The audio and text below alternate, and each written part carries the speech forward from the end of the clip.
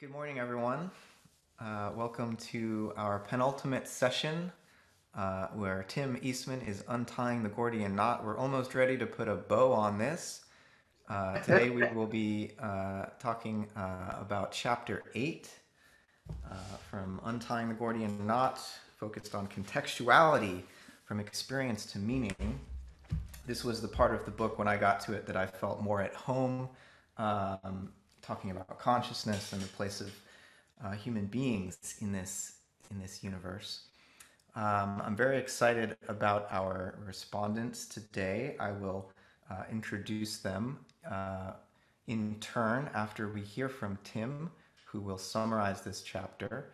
Um, as I mentioned, this is our penultimate session. This was going to be our last, but uh, as I mentioned last month, uh, Tim has asked uh, myself and Anderson Weeks uh, in February to do a, a wrap up session to kind of uh, summarize what we've gone over and offer some concluding thoughts. So mark your calendars for that. And yep, that's all from me. So, Tim, if you would uh, like to unmute and, and summarize this final chapter of your book for us, we'd love to hear from you. Okay, well, thank you, Matt. Uh, thank you uh, to all of you for uh, joining in and participating on this Saturday morning. The systematic logoi framework, as I have tried to pull it together uh, with various struggles uh, over the years, uh, originated with a speculative synthesis of elements from physics, which is my background in plasma physics. Uh, I also had gone, taken uh, some advanced courses in philosophy many years ago, but uh, had done some publications now and then in process studies and other venues, uh, some 30 plus papers over the years in philosophy, uh, separate from my physics work. So in addition to those elements from physics, philosophy, that I also really got into looking at the area of semiotics, systems theory, and other fields, trying to synthesize these things in a way to get at my basic questions. Although influenced by Peirce, Whitehead, Hartshorne, and related thinkers, this framework goes beyond those sources, especially through its metaphysical hypothesis that the fundamental succession of events, as articulated, for example, by Jorge Nobo, the fullness of reality is constituted by two fundamental orders, the order of actualizations in which the basic logic is binary or Boolean. And secondly, the order of potentiae or potential relations in which a basic non-Boolean logic incorporates possibility. These two orders have the following overall characteristics for the for the order of actualization, we have well-defined asymmetric input-output actualizations subject to specific space-time distinctions and mappings, a plurality of things, physical causality, and relativistic or speed of light limitations. For the order of potentia, on the other hand, we have symmetry and fundamental contextually rich relations of possibility, fundamental pre-space unity, logical correlations as exhibited by quantum entanglement, that is a kind of logical causality, and being pre-space, independence from conventional space-time limitations. We're dominantly exposed to constraints and conditions of the order of actualizations, and yet the ubiquity of quantum process assures at all levels a fundamental linkage of these two metaphysical orders. This fundamental dance of possibility and actuality permeates all events, even though the classical approximation, which focuses on actualized states, is generally excellent for macroscopic events. events. Contemporary science is almost entirely focused on the coordination of data, that is measurement outputs, always with relativistic limitation, and on modeling the, quote, the order of actualizations. However, the discovery of basic physical relations, quote, laws, unquote, reveals important constraints on potentia that weave together symmetry and asymmetry, potentia and actualizations, order and disorder, continuity and discreteness, the Logoi framework, with its emphasis on the ubiquity of a fundamental physical and triadic relational nexus, as, a, as, for example, an input-output context, that triad, suggests that certain linkages of the fundamental orders should be operating constantly in the background. Unconscious intentions and affective processes, for example. with the possibility of certain, quote, order of potentia effects becoming at times prominent, as for example in mystical experiences, creative genius, and telepathy. Standard neuroscience research about the brain-mind connection and consciousness focuses almost entirely on the order of actualization and correlations of measurement outputs. This approach presupposes that consciousness must reduce to equivalent brain states However, such state descriptions always de derive from the more basic quantum passage from possibility to actuality, however much the classical approximation may apply to wet brain chemistry.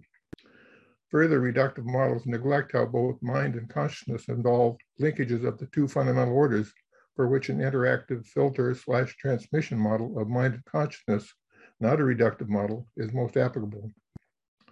The notorious quote problem of consciousness is driven by the persistent failure of physicalist modes of description, which attend only to the order of actualization, to make sense of consciousness. The more promising approach is that of dual aspect monism, in which aspects are distinguished by epistemic splits of a unitary underlying domain. However, even this approach, enhanced with many refinements by numerous scholars over the past century, for example, as by Pauli, Jung, Bohm, D'Espagnat, Atmanspacher, has not yet resolved the problem of consciousness. I propose that the needed solution can arise by positing a duality of fundamental orders as done in my Untying the Gordian Knot within the Logoi framework. However, such solution is only pointed to within on time. The most powerful example that I know of for which standard reductive models utterly fail is that of Srinivas Ramanujan, 1887 to 1920, an Indian mathematician who had no formal training in pure mathematics, and yet, quoting from Wikipedia, quote, he made substantial contributions to mathematical analysis, number theory, infinite series, and continued fractions, including solutions to mathematical problems then considered unsolvable. During his short life, Ramanujan independently compiled nearly 3,900 results, many completely novel that opened entire new areas of work. Of his thousands of results, all but a dozen or two have now been proven correct. As late as 2012, researchers continue to discover that mere comments in his writings were themselves profound and subtle number theory results that remained unsuspected until nearly a century after his death, unquote. Unlike most cases of creative genius, Ramanujan was not building on prior work or examples. I propose that Ramanujan, to an ex exceptional degree, was able to tap into the pre-space order of potentia.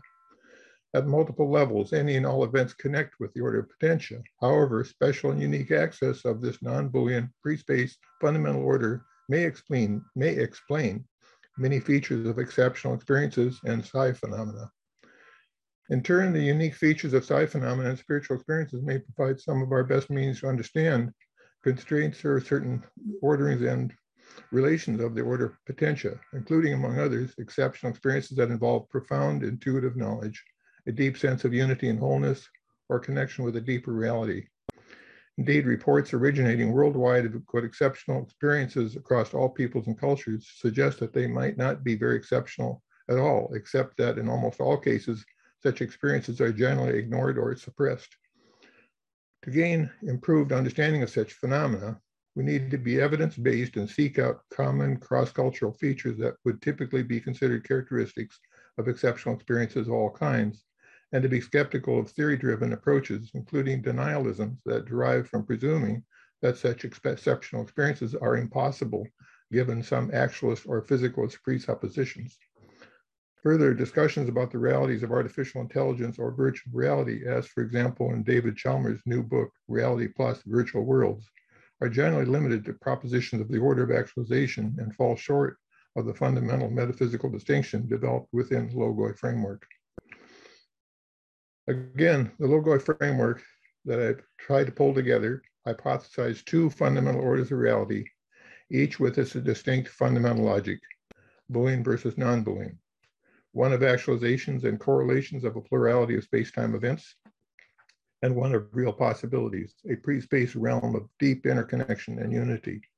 Although each and every event links these orders via the basic, basic quantum process, substantial constraints and real possibilities expressed in physical quote laws substantially limit possibilities for exceptional experiences. Nevertheless, the cumulative evidence for some exceptional experiences is extremely strong in addition to capabilities that go beyond standard naturalistic frameworks, such as the qualitative dimensions of experience, abstract reasoning, intentionality, or the overall unity of consciousness. Was Ramanujan tapping into this fundamental order of potentia? Could similar tapping of the fundamental pre-space realm enable other exemplars of exceptional or spiritual experience? Further, what do these phenomena tell us about the pre-space realm? Presumably, this is the same unitive realm that is hypothesized by various forms of idealism, such as in Paul Marshall's The Shape of the Soul. The wondrous, highly verified case of Ramanujan indicates that the order of potentia is both accessible and universal, a basis for ultimate context. Further, if ultimate context in the spiritual dimension arise from our fundamental order of potentia, then such may be appropriate may appropriately fit in with John Cobb's God in the World, William Desmond's The Intimate Universal, and Roland Faber's The Cosmic Spirit. Another question is whether such a metaphysical realm can be pointed to as a basis for some minded reality. Lorenz Puntel, in his book Being and God, has addressed this question by arguing from a principle of ontological rank that the absolute and necessary dimension of being must be in some way minded. My project with Untying the Gordian Knot provides a starting point for such theological arguments, but in general, such efforts go beyond untying the scope. The most common metaphysical frameworks, actualism, physicalism, pluralism, idealism, monism, dualism, can all be described as conceptual branches off of the Logoi framework. For example, by dropping the order of potential, one is left with the order of actualization, that is, actualism, physicalism, pluralism. By dropping the order of actualism, in contrast, one is left with just the order of potentia, for example, as in idealism or monism. By taking literal a pluralistic actuality potentia, one obtains, quote, many worlds or multiverses. And finally, by actualizing both sides, one obtains Descartes' dualism. With its emphasis on potential and their role in constraining the order of actualization versus constraints on possibility that ground physical relations, that is, laws, the Logoi framework is close in spirit to Whitehead's treatment of creativity as the most basic of universals. Nevertheless, the Logoi framework does not directly introduce eternal objects, which are suggestive of actualized forms of relations or a God concept linked to such eternal objects, although such a concept appears to arise naturally as a grounding for the order of potentia. That's all. Thank you, Tim.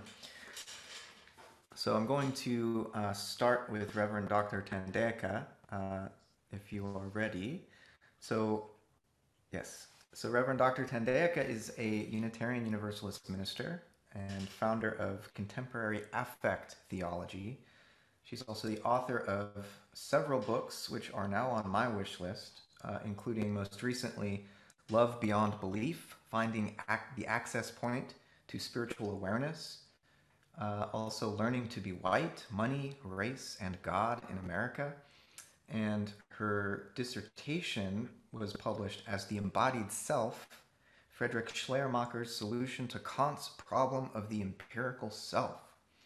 So, uh, Thandeka, please, uh, the floor is yours. I look forward to hearing your thoughts and your feelings, Thank you. of course. Thank you, Matt. Thanks yes. to Tim, I now have a new ritual in my life. When I read a book uh, or essay, I regularly write the word Tim as a margin note because a passage seems to highlight or need highlighting by Tim's relational logoi framework. Tim's fundamental new theory as a generalized field theory with speculative philosophical aspects added in is a masterpiece. I find Tim's work enormously useful, inspiring, and wise. Tim, however, has issued a challenge to people like me namely scholars in the field of theology and philosophical theology. He would like to know how persons in my field would describe a momentary experience of subjective feeling in his terms. This morning, I used three basic strategies to achieve this end. First, I present an extremely brief, extremely brief case studies of the subjective feeling of separation distress experienced first by the 19th century liberal, father of liberal theology, Friedrich Schleiermacher, and then by a group of baby chicks. Second, I analyzed three ways the use of music reduced the experiences of separation distress. I focus on music for contextual analysis because, as Tim notes in chapter five of his book, his conclusions about the importance of context are complemented by an affirmation of the importance of contextual analysis and expressions for all forms of art, humanities, and music. I affirm the importance of conceptual analysis and expressions with reference to music. Third, I translate the threefold analysis of affective, affective neuroscientists and Schleiermacher into Tim's terms. First, Schleiermacher's story. On October 9, 1805, Schleiermacher received a letter from Eleonora Grunow, the unhappily married woman with whom he had been in an unconsummated love affair for seven years. Her divorce from her husband was almost complete, so Schleiermacher expected to marry her quite soon. In her letter, she renounced any further contact with Schleiermacher. Schleiermacher was devastated. In emotional agony over the sudden and unexpected loss of his soulmate, He's, his separation distress was unbearable. By December 2nd, his grief had deepened, stifling every creative activity of his life except for his lectures and preaching. The grief stricken Schleiermacher canceled a class to attend a solo performance by the preeminent flautist of Europe, Ludwig Friedrich Ludwig Dulon, who had a widespread and well earned reputation for stirring the feelings of his audience through his music. In concerts, Dulon introduced preludes with extended improvisations that could last 15 minutes. When a member of the audience suggested a musical theme, Dulon would play extended variations and inventions of the newly created melody for half an hour. After the concert, Schleiermacher stood next to his stove trying to make sense of what had, ha had just happened to him. He felt an explosion of creative energy and an astonishing thought came to mind. He studied his affections raised by the Dulon concert and now amplified and sustained these feelings through religious images and ideas about the meaning of the birth of Christ. Three weeks later, um, Schleiermacher's Christmas Eve was sent off. Christmas Eve, a conversation, an imaginative sermonic conversation among a group of friends who share the images and ideas generated within them as they think about the birth of Christ. Music has a major role in the narrative. The reader is told that one of the characters of, at the Christmas Eve party plays the piano, sings lyrics from the poems of romantic poets, and improvises melodies to accompany the conversation. The host of the party explains the link between music and religious feelings, saying every fine feeling comes completely to the fore only when we have found the right musical expression of it. And further, it is precisely to religious feeling that music is most closely related. What the word is declared, the tones of music must make alive in harmony, conveying it to the whole inner being of its hearers and holding it fast there. The second story, the baby chicks. Baby chicks were separated from their mothers. Left in their cages without their mothers, the baby chicks displayed the typical physical signals of separation distress. Music was piped into the cages of the baby chicks.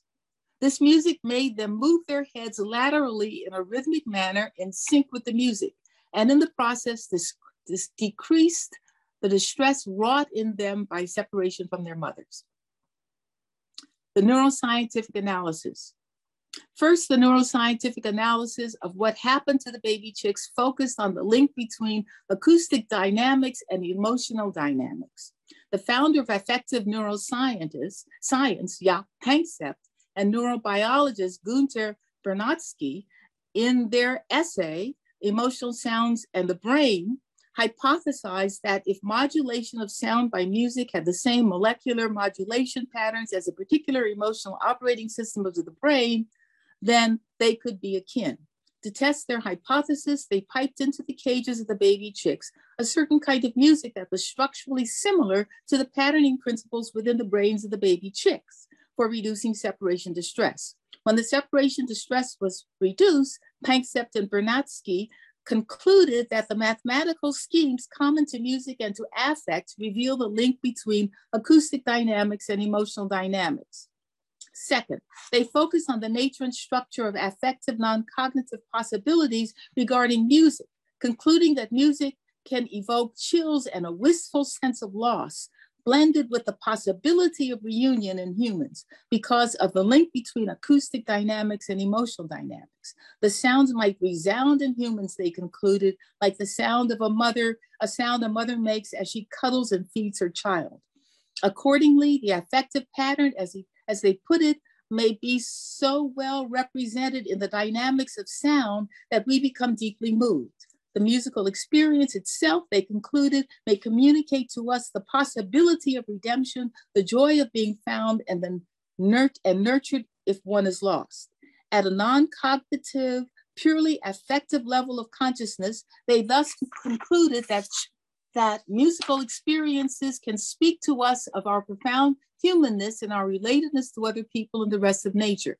The musical experience may communicate to us the possibility of redemption, the joy of being found and nurtured if one is lost. Schleiermacher's analysis. Schleiermacher also affirmed the link between acoustic dynamics and emotional dynamics. And so, too, the human experience of the possibility of redemption experienced at the non cognitive level of affective consciousness. Music for Schleiermacher was quite literally the transformation of physical impulses, sound, into rhythmic feeling, music, as a non conceptual activity of human consciousness. The transformation, he argued, must be described from two perspectives because it entailed two forms of human consciousness simultaneously occurring. From one perspective, feeling, namely the resounding experience of the sound moving his expect his affections. From the other perspective, perspective, pure awareness, namely an act of understanding by the human spirit, Geist, occurring at the same time as the resounding affective experience. Schleiermacher thus acknowledged and delineated two forms of intuition that together constitute the spiritual dimension of human experience affective experience, which he referred to as Gefühl, and pure experience, which he referred to as Anschauung. The affective mode of consciousness, Schleiermacher argued, consists of moments of affections, Schleiermacher called the neural material affect and defined it as the product of stimulated nerves for whatever or whatever else is the first ground and seat of, of motions in the human body. Accordingly, the internal result of the impressive sensations, Schleiermacher argued, is an affect, namely a neurobiological hedonic me measurement and assessment of a movement of sensible self-consciousness as pleasant or unpleasant. Listening to music was thus for Schleiermacher a form of affective consciousness. Schleiermacher's way of listening to music was described by one of his friends as sinking into the musical tones. Schleiermacher would then awaken during the breaks in the music performance and describe his experience of music rather than offered learning discourse about music. Schleiermacher, when in this state, felt himself to be quite literally an artistic creation at the moment of its birth. For Schleiermacher is the human experience of the unbounded universe, namely an experience of the infinite universe in the finite moments of one's life, which he defined as the natal hour of everything living in religion without itself being a religious experience because all religions are cultural constructions. The experience itself is the constitutive, innate capacity of human nature. Schleiermacher called Anschauung or pure awareness, the null point of consciousness, because it occurred between thoughts is the place where one thought ends and the other begins. This in between place, as he put it, is not another thought, but empty of all thought as a pure state of mental awareness. The content of the unitive experience of consciousness is thus simultaneously empty of thoughts and images, Anschauung, and filled with the manifold infinite universe, Gefühl, the conscious experience is thus the emptiness of thought and the infinite fullness of feeling experienced at the same time, which is, of course, a classic way Western traditions define mystical experience. So too William James, when he took nitrous oxide to experience what the mystics he studied felt, he watched opposites meet. According to Schleiermacher, this moment of unitive consciousness always splinters into one, a mental form distinct from the entirety of its feeling based content, and two, a moment of raised affect, which gets determined, ordered, and arranged. This third state of consciousness for Schleiermacher thus pertains to the ordering and arrangement of ideas that we reflect on and determine the meaning of raised affect and its vibratory possibilities. As Schleiermacher notes in his brief outline of theology as a field study, field of study, religious feeling is determined and communicated by means of ideas rather than some symbolic actions. And likewise, religious feelings depends on the degree to which the feeling attains extent, historical importance and autonomy. Accordingly, from this perspective, the baby chicks did not have a spiritual experience because they did not reflect upon their regenerated feelings and produce a creative liturgical piece they could then draw on when they felt devastated, sad, and alone. The baby chicks, in some, did not have a religious tradition, a religious community, and thus a religious experience. Their affect was not determined religiously. The baby chicks simply experienced the reduction of their separation distress. Tim's relational framework delineates these three levels of human consciousness affirmed by Schleiermacher. First, affective consciousness. Tim described the content of his non cognitive state of consciousness in the opening pages of his book. When he was 13, during his walk down a beautiful hillside along Big Stone Lake in Minnesota, he intensely felt the soil and grass below him. He, and he felt the throbbing life of insects, worms, and plants. Tim states calls this state enhanced openness to pre-space potentia, calls this state an enhanced openness to pre-space potentia.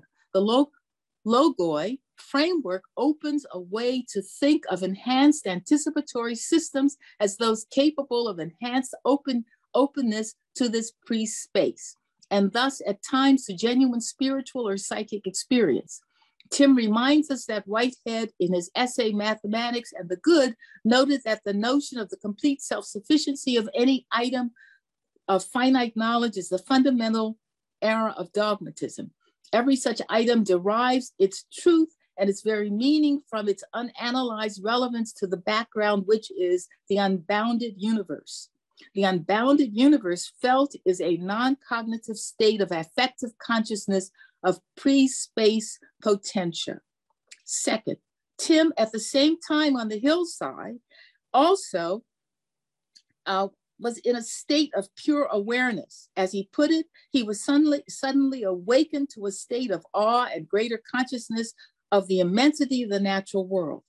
This is the state of consciousness of pure awareness. In his words, he experienced a heightened awareness of our shared radical contingency of the immensity of alternative possibilities.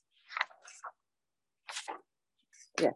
According to Tim, this state of self conscious awareness and its subjective feelings arise from nonlinear feedback between such contrast and active selection, quantum process, potential to actualization, channeling these processes through the neurological system and mental models mappings, enabling various levels of anticipatory capability. The affective consciousness and the state of pure awareness occurred at the same time. The unitive state of consciousness immediately splintered into the third state of human consciousness, reflection. Thus, reflective consciousness, Tim now wondered how he was fundamentally like or different from the creatures around him, and he meditated on his own ignorance and fears, including his immediate past. Tim's reflective state of consciousness, in short, his mind with its conscious capabilities became the real emergent complex model system that manages all inputs given environmental context and working via complex systems modeling or enfolding inputs and unfolding responses, makes and implements decisions. Thus, Tim thus confirmed in, his three, in this threefold way his use of the terms religion, ultimacy, and spirituality as referring to the affective attunement of the body and mind to the neurological attunement with all of life, real and potential, thus providing linkages, linkage to his Boolean and non-Boolean description of both intentional and luminous consciousness, namely the state of consciousness before it is sundered into a mind reflecting upon what the body has felt.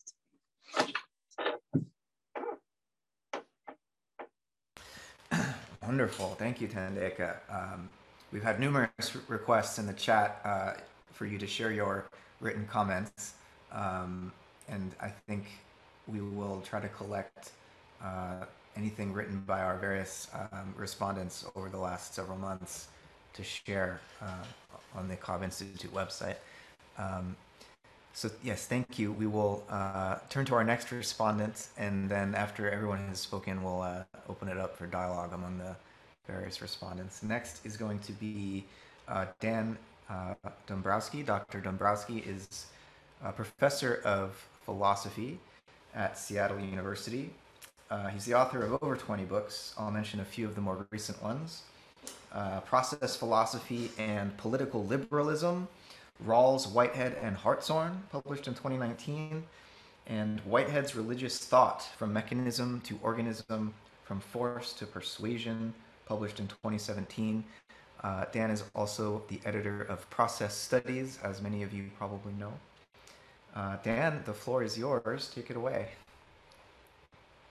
Uh, thank you, Matt. And thanks, Tim, for your book, obviously. That's why we're here. Uh, uh, uh, so the chapter we're talking about today um, uh, deals with uh, an integrated framework and the meaningfulness of the world uh, that's connected to that integrated framework. And I, I like Tim's idea that people who challenge the meaningfulness of the world may end up committing a performative contradiction in their efforts. Um, uh, what I would like to do, I'd like to ask a question about the extent to which this framework for meaningfulness is compatible with Plato. So I'm going to have us concentrate on Plato um, and to see the extent to which a consideration of Plato will help us better understand Tim and uh, the big issues that Tim is dealing with here. And I'd like to deal with three uh, topics in particular. Um, the first deals with the different modes of expressing the logos. So the label for Tim's position is the logoi framework. Um, and uh, I take it that you know, the logos could be uh, transmitted in quite different ways, and I'm wondering about the relationship between them. Um, and I'm going to try to unpack here um, Tim's uh, uh, use of Black Elk toward the end of this chapter. Um, uh, so um, I take it that oral transmission of the logos through myth among pre-literate peoples um, so through oral, oral, O-R-A-L, A-U-R-A-L, discourse, um, has as its primary characteristic transitoriness. So when one speaks the word, um, it falls, you know, out of existence almost instantaneously, right? Um, such that if you want to remember stuff in a pre-literate culture, um, you need mnemonic devices right? You express yourself either in some sort of sing-songy cadence or rhymes at the end of lines or use figures of speech to try to preserve what needs to be remembered um, uh, through the, this oral performance of myth, very often in a ritual context, you know, some sort of religious context. I take it that that is quite different from a literate transmission of the Logos. Um, so that reading and writing as a type of discourse has as a primary characteristic permanence. So when you write something down, it's going to hang around, presumably forever. Actually, we're still reading Homer. Right? Some of the first books that were ever written, you still get in the library. Um, now, the permanence of the Logos found in literacy uh, creates a need for analysis. Um, and then I'm relying on the dual meaning of the Greek word lysis here, which means both to liberate something, but also to destroy it in the liberation process. Um, so in the separation from the source of oral spontaneity, there's a chance through literacy to slow down and reread things and in some way or another give rise to analytical skills. So I'm thinking here of Marshall McLuhan, you know, this dictum, the, the medium is the message. I, I wonder if the same logos can be expressed orally that that is expressed in a literate medium, or if the means by which we convey the logos, at least partially, determine what is expressed. Um, I guess a lot of us are thinking about that stuff these days in terms of the electronic media. You know, how is what we're doing now different from a conference in person? How does teaching online differ from being in person? And so on. And I'm asking the question as to how orality differs from literacy. Now, what's interesting about Plato's dialogues is that he tries to bridge these two logoi. Right? It's a literate medium uh, that tries to preserve the cast of the spontaneity of oral discourse. And I like Tim's reference to deep listening, right? That maybe is made possible, you know, by documents like Plato's dialogues. Actually, I think that um, in Plato's Sophist, uh, where dialogue is a model for reality in general, seems to be very compatible with what Tim is doing here. So that in the Sophist, Plato tries to advance the thesis that what being is power or dynamis, specifically the power to affect others and the power to be affected by others. That sort of relational view that Plato has there seems to be very close to what Tim is doing. And I take it that the Greek kai and is needed rather than ite or or. So it's not just that you have an impact on others, uh, but also that you are impacted by others in a relational worldview. Now, Tim notices uh, earlier in the book that literacy extends the range of direct human experience. The way Tim puts it is, you know, literacy enables you to learn about other places and cultures. Um, I'm, I'm trying to push it a little bit further and saying that literacy does something else. It changes the way we think, right? It makes possible analytical thought.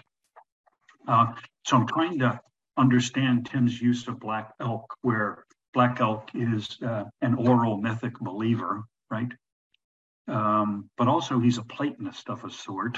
okay, he talks a lot about this world and the other world, um, and I'm wondering about um, the extent to which the view of the world that Tim has, that a lot of us share who are in this, you know, reading group, um, is compatible with indigenous wisdom, or is, is is it fair to say that it's the same as what you find in Black Elk? Um, in one sense, um, you could read Black Elk as not encouraging a pole vault out of this world into another world, but rather trying to get us to, to have a different uh, sort of appreciation for this world. T- Tim refers to it as a co-present spiritual dimension to the world. Um, uh, so anyhow, that's the first area I wanted to ask questions about uh, orality and literacy and the extent to which indigenous wisdom is the same as or compatible with or analogous to the sort of thing that Tim is doing. Um, so let me move on. The second point deals with the relationship between necessity and contingency. And I take it that uh, Tim's thesis here is very much compatible with Plato because Tim thinks that it's impossible for everything to be contingent. And Tim also thinks that it's what? Impossible to assimilate everything to necessity. Um, so, regarding the impossibility of everything being contingent, uh, Tim suggests that atheism rests on that mistake to think that everything could be contingent. Um, uh, and this is because Tim thinks that uh, absolute nothingness is unintelligible, and this goes back to Plato in Parmenides, right? Um, although relative not, uh, nothingness or otherness may exist, and this was Plato's parricide on Father Parmenides to suggest that relative non-being uh, may be intelligible, but not absolute non-being. Tim's way to put it is uh, uh, to say what the, the quantum in scare quotes vacuum is full of processes, right? Uh, uh, so he's in agreement with Plato there. But it's also impossible to assimilate everything to necessity. And Tim thinks that determinism rests on this mistake. And determinism is a metaphysical view, not a scientific one, as he sees things. Um, so counterfactual possibilities are needed to understand factuality itself. Um, and in this regard, he points to indeterminate features of quantum physics. And also in, instructively, the difference between causal order and logical order. Logical order may lead us to, you know, flirt with, you know, necessary relations everywhere. But causal order is diachronic, whereby uh, effects contain causes and not vice versa. So I, I think uh, Tim's stance, his moderate stance, is instructive that what reality has contingent and necessary features and you don't want to lean too far in one direction or the other. So that's the secondary. So, so the first area was uh, trying to understand uh, different expressions of the logos and the implications of, you know, uh, uh orality versus literacy. And secondly, uh, I wanted to call attention to Tim's moderate stance regarding contingency and necessity. Now, the third area I'd like to ask some questions about deals with the cosmos as a complex whole and Tim admits this is an undeveloped part of a comprehensive narrative. Um, I, I, wanted to ask whether or not Tim uh, thinks his view is compatible with Plato's world soul. Uh, at least I was thinking about Plato's world soul and trying to understand what uh, Tim was getting at. Uh, and in this regard, um, relying more on Hartshorne than Whitehead. You know, Hartshorne embraces the concept of Plato's concept of the world soul, and Whitehead's a bit more reticent. And th this concept may be very close to what Black Elk means by Wakan Tanka, okay? Now that his view of God seems to be something very close to the world soul. This would be a belief in a sort of cosmic hylomorphism.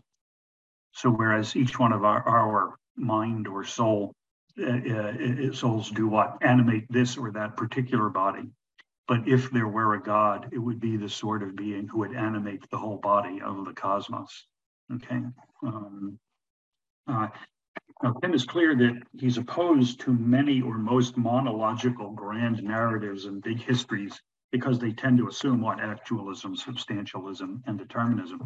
But there's some versions of integrative wholeness, presumably, that he accepts.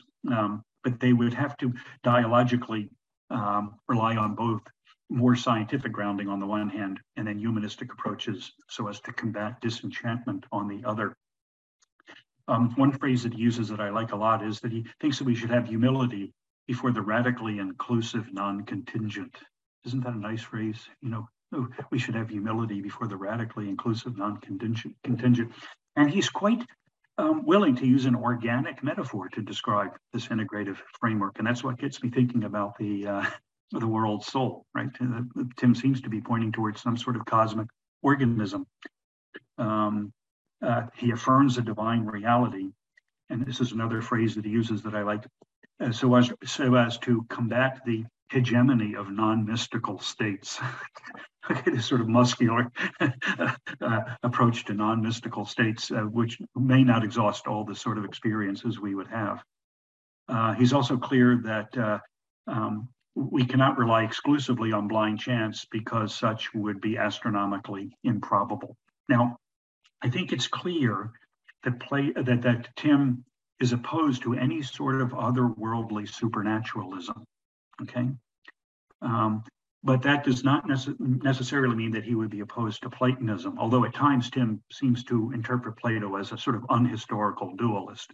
But there is another way of viewing Plato, uh, such that Plato, perhaps like Black Elk um, and Hartshorne and others, is um, alerting us to another dimension of this world rather than having us pole vault into some sort of other world.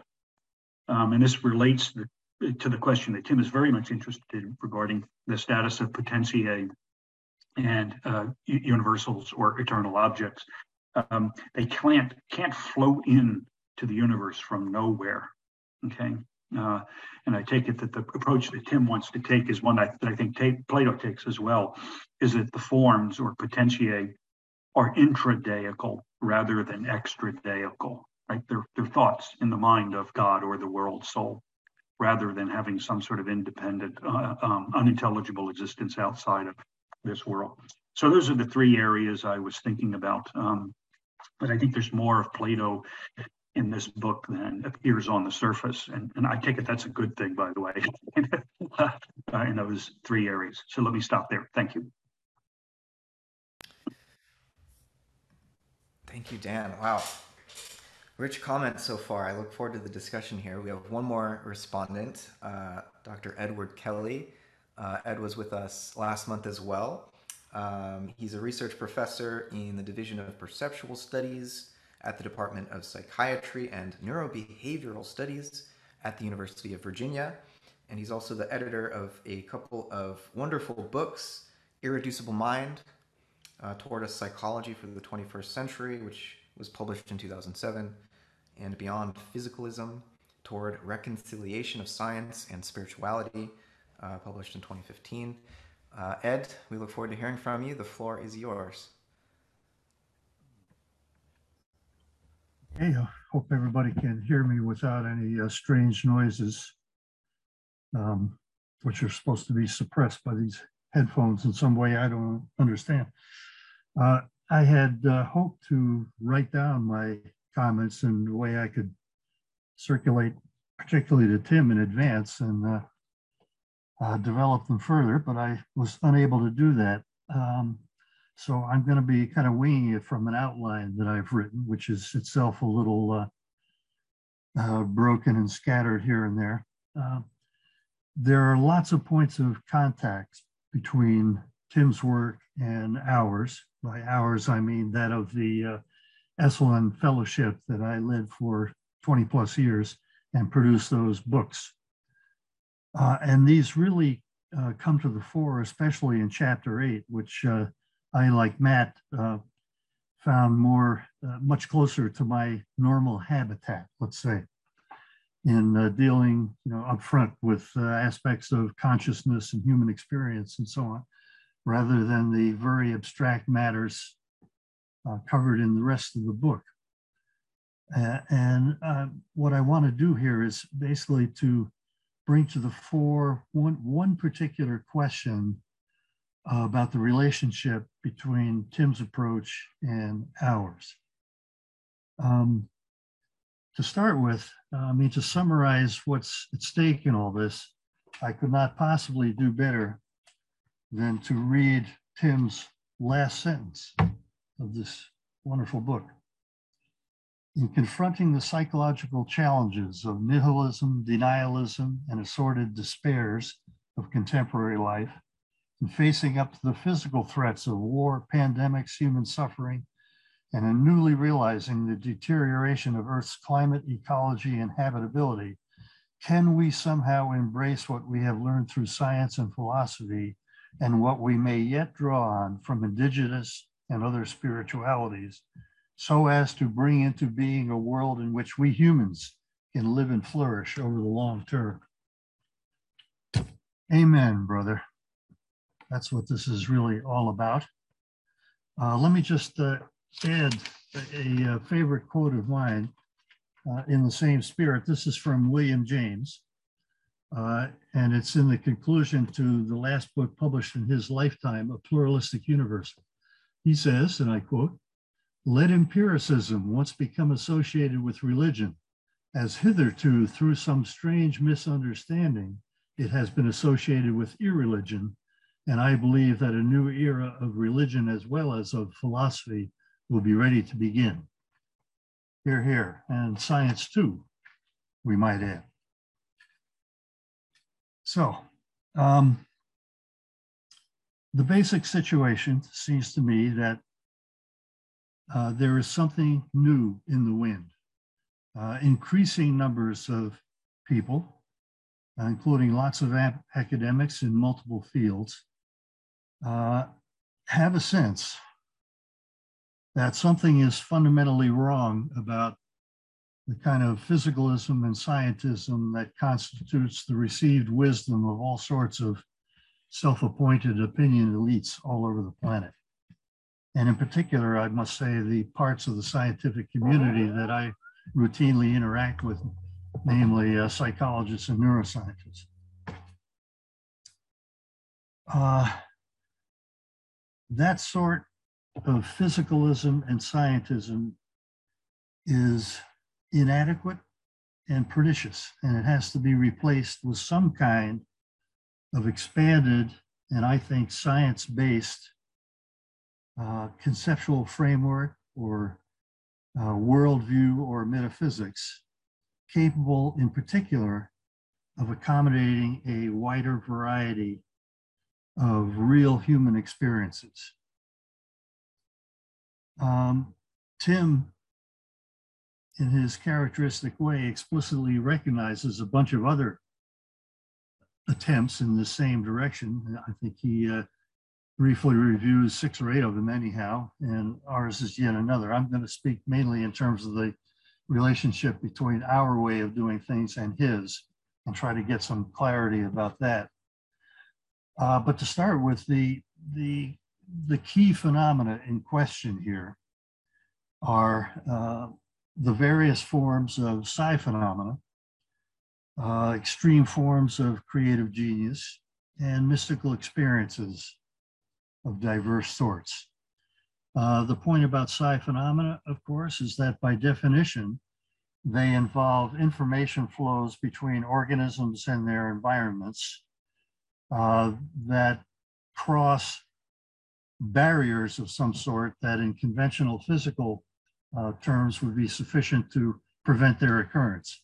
So for example, uh, ESP experiments the target might be in the next room, or it might be 5,000 miles away, or it might not be picked until sometime in the future. And these barriers ought to be sufficient for people to be unable to discover what the targets are, and yet they do, as shown uh, not only by a couple of thousand experiments now collectively, but also by large numbers of spontaneous experiences, uh, typically of very important and personal sorts that people have had and that are well documented in the literature. Uh, in regard to genius, uh, Tim's already uh, spoken about Ramanujan, and we talked about him also in our book, Irreducible Mind, in the genius chapter. I mean, the guy's just totally off the charts in terms of the, the things that he accomplished. Uh, and an important feature here is one that uh, F.W.H. Myers called uh, incommensurability. That is, um, experiences of creative genius often come in forms that are markedly different from everyday kinds of thought. The kinds of uh, uh, mentation is uh, speedy, complex, highly precise. It has features just not present in ordinary cognition. That was certainly true of Ramanujan's cognition. A, a sort of homely example can be found in something like savant syndrome, and F.W.H. Myers made a great deal of this. For example, uh, a great case in point is that of the twins who were studied by Oliver Sacks. Here you had uh, two kids who could not successfully add or subtract uh, single digit numbers under ordinary conditions. And yet it came to light that they had some quite extraordinary capacities. Uh, the way this happened was that uh, Sacks uh, knocked a batch of, uh, matches on the floor one day, and these two kids instantly and simultaneously said 111, 37, 37, 37. Now, there were two things going on here. First of all, they had instantly apprehended the total number of matches on the floor, and Sacks counted them in order to be sure he thought about the other thing for a while before he realized that what they had done was they had implicitly factored 111 into the product of two prime numbers, 3 and 37. And for that reason, he started a little game with them uh, involving prime numbers and showed that they could generate prime numbers. They quickly went to uh, beyond 10 or 12 digits, which was the uh, biggest table that he had, and eventually were producing 20 digit numbers that were ostensibly prime. Now, these kinds of things can only be verified by uh, supercomputers even now, and yet these kids were somehow doing it. Uh, the point is that uh, minds have capabilities that are not routinely expressed, but can be expressed under conditions that we don't know very much about as yet, but could presumably uh, learn more about by applying our normal sorts of scientific and experimental investigative techniques. Uh, this would clearly have a great bearing on the important possibility of transformation, that is, making these uh, kinds of latent abilities more available uh, for both personal and collective good. So that there is a there is definitely a kind of applied aspect to this process of theory development and a natural way to think about it uh, from my point of view as a psychologist. Uh, the third area, mystical experiences, um, of course, uh, Tim's lifelong search was driven by his experience as a young man in Minnesota. Uh, you'll be interested to know, Tim, that of the uh, 50 or so people who participated in our, our group, at least eight or 10 are similarly driven by mystical experiences that they've had in the course of their lives. Um, by anybody's uh, calculation, the uh, probability of that uh, degree of involvement of the mystical in the work of our group is uh, essentially zero. And I'd like to say just that, uh, again, um, the idea that these reflect some higher state of consciousness that is accessible to us, or states of consciousness that are accessible to us as humans, uh, the disregard and um, um, mistreatment of the mystical in contemporary science and particularly psychology and neuroscience is to my mind totally scandalous. And uh, if nothing else, I hope that our work has uh, helped to encourage more scientists to take the subject seriously. Anyway, now, um, oh, and by the way, um, one of my co-editors, Paul Marshall, uh, has written what I think is the best thing about uh, mystical experience since Walter Stace's book, Mysticism and Philosophy. It's called Mystical Encounters with the Natural World, Experiences and Explanations. Um, and Paul is one of the people who, by the way, whose work has been driven by his own mystical experience. He was a uh, phys physics student at Cambridge before turning to uh, comparative religion and mysticism. Now, uh, so in our way of uh, dealing with all these um, unusual experiences, uh, we've approached the subject, I and my colleagues, that is, uh, primarily from the viewpoint of psychology and neuroscience. That's our natural habitat. And we brought in a number of people who are uh, scholars of religion.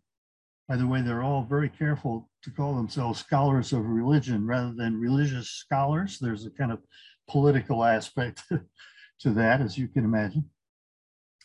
And uh, what we did, uh, basically, the, the, first book collected in one place a lot of evidence uh, showing the inadequacy of physicalism.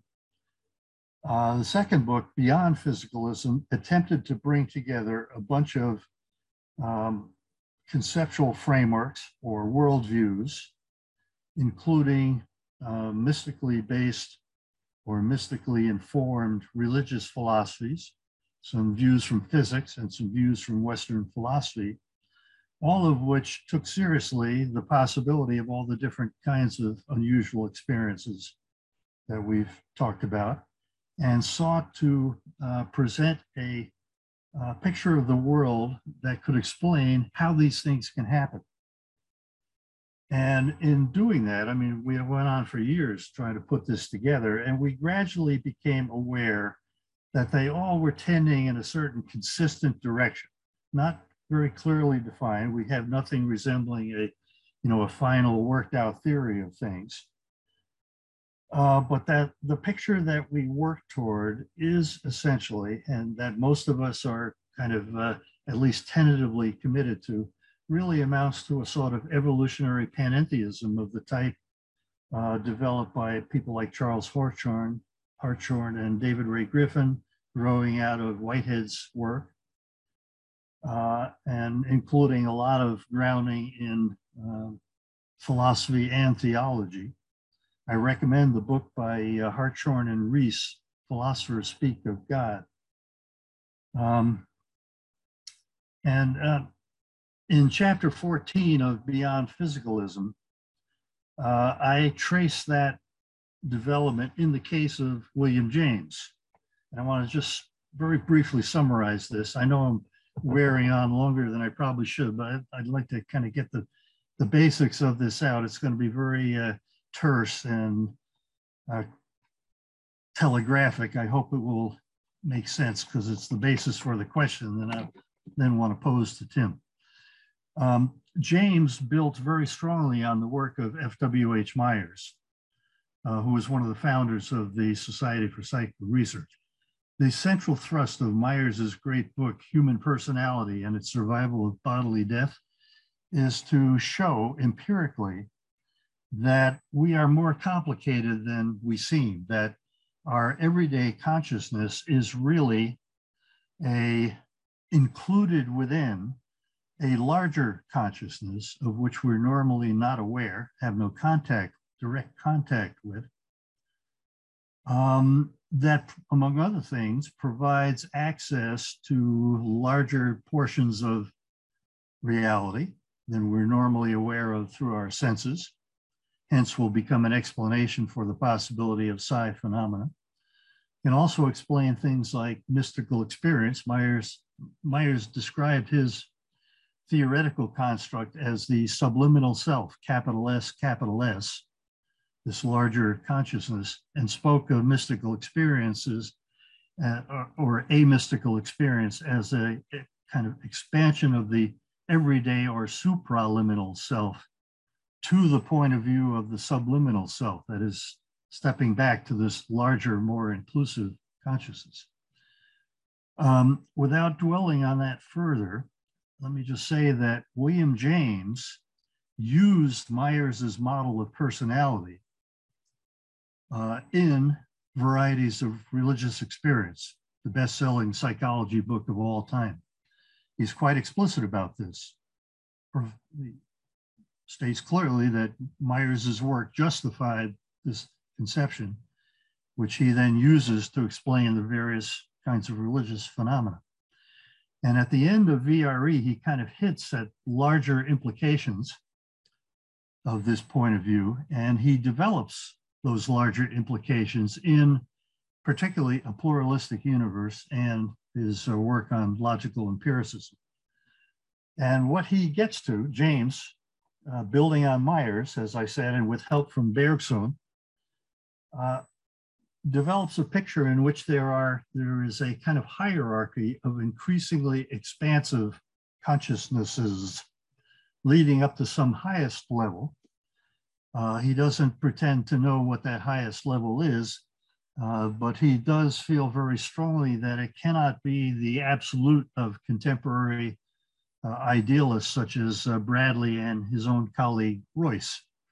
That's a concept that he loathes and despises. He regards it as a, uh, he talks about the, that conception of an absolute idealism as uh, the unintelligible pantheistic monster, uh, the product of uh, vicious rationality unconstrained by facts. So here we get back to the importance of empiricism and grounding things in real science. So um, without dwelling upon that any further, that's the, the general kind of picture that most of us in, in the Sursem, the Esalen group, are drawn to. Uh, the idea that there is some kind of highest consciousness that is at the source of everything, that grounds everything, uh, that accounts for uh,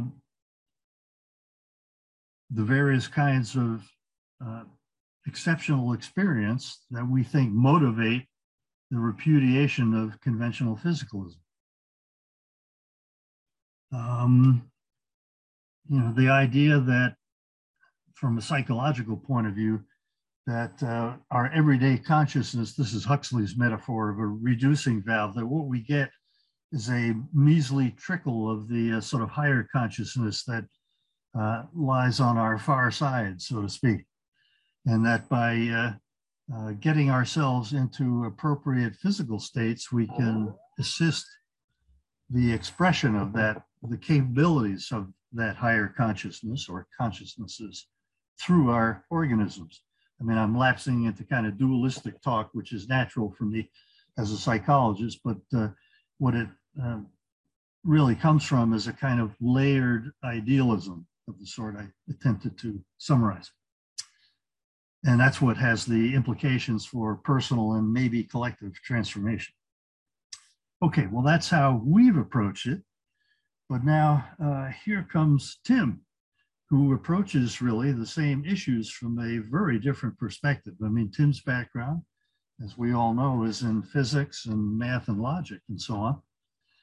Uh, as I confessed last time, uh, large parts of this book are really uh, I have to say, beyond my pay grade.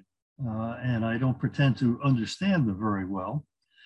Uh, but what is very clear to me at this point, and Tim really emphasized it, I think, uh, correctly at, in his introductory remarks today, is that he attempts primarily through the postulation of a reality which has two sort of ontological departments, the actual and the possible, by advancing that um, larger concept of what's real, he can uh, similarly begin to perhaps explore these kinds of exceptional human capacity. Um, and so, I mean, for me as a psychologist, that's a big reach because, as I said, uh, his sort of conceptual framework is so exceedingly abstract uh, from my point of view. Um, and the question is uh, to what degree it can be brought into better alignment with the kind of picture that we have developed through our Esalen Fellowship, which makes consciousness itself so fundamental to the whole scheme of things. And my sense is, and again, uh, amplified a bit by what Tim's already said, that despite the very different uh, starting points, uh, we're really not as far apart as it might seem at the outset. Um, I, I, was encouraged in this direction, I must say, by reading one of the papers that Tim cited. It's the one by uh, Ruth Kastner and Stuart Kauffman and uh, Michael Epperson, who uh, arrived at this basic idea that the, the possible is ontologically as real as the actual and so on. Uh, these are three different kind of physics driven research programs that have kind of semi independently come to the same sort of picture that Tim is then building upon in his work. Uh, and they speak, uh, they, they divide the, the possible into sort of two domains. One is that of quantum potentiae, you know, having to do with the kind of stuff that goes on in quantum physical experiments. But they clearly embrace the idea that there's a kind of larger realm of potentiae, the res potentiae, and give just a few hints about it. And Tim has begun to develop some of those further. And, and I must say, if, from my own point of view, the thing that uh, leaped to mind immediately uh, in reading that Kastner paper is uh, Jung's, Carl Jung's archetypes. You know, these are associated with the unconscious. I can just mention that Jung's unconscious, his picture of personality is actually very similar to Myers's except that for him, the unconscious really is unconscious. It's dark. It's, um, uh, and he speaks there because of that of mystical experiences as being the the real consciousness, the everyday consciousness, being overwhelmed by this dark stuff from his unconscious. Uh, Myers, of course, had a similar idea of a more inclusive something subliminal but his is conscious, not unconscious. And James strongly supports that point of view. But the archetypes, you see, are part of this underlying something. Uh, for him, they're few. Uh, and when he got together with physicist Wolfgang Pauli, Pauli uh, strongly uh, urged him to make the whole thing much more dynamic, which again brings it into better alignment with what Tim's talking about. I wanted to mention also in response to uh, Dan, uh, I really resonated to what you said about connections to Plato. And in fact, particularly to, I think, Neoplatonism. Uh, Myers was a big uh, Plotinus fan, knew it in Greek. and I've recently discovered a book by Dan Gerson called From Plato to Neo, From Plato to Platonism, in which he portrays Neoplatonism as the ultimate development of Plato's work. And it, I think, I mean, it, Neoplatonism is one of the uh, primordial sources of, um, of, panentheism historically. So, um, my uh, question and challenge to Tim, and I, I don't imagine we can possibly answer it in this brief conversation, but I think it's the subject maybe for further exploration, both in this conversation and some kind of ongoing interaction, is to explore in more depth uh, this whole idea of res potentiae and exactly what it comprises. Um, well, I think I will uh, just stop there. I hope that made sense. A lot of territory and not much time. Thank you, Ed. Um, big questions, big questions. Uh, is the realm of potentia conscious, right? Uh, is uh, is there any relationship to the world soul, as Dan was asking, and mm-hmm. uh, uh, Thandeka uh, pointing out the connections between uh, our affective relationship to the infinite fullness of the universe? And, and in what ways are these related to your concept of uh, the realm of potentia, uh, Tim? Um, we'll turn it over to you, Tim, just to respond to these great uh, comments and questions that have been raised. Um, anything that you can offer, they are big questions. We don't expect answers, but share your thoughts with us. Well, these are really great uh, respondents and uh, and presentations. Uh, lots of great questions, and I certainly can't respond to all of that uh, in any finite time frame.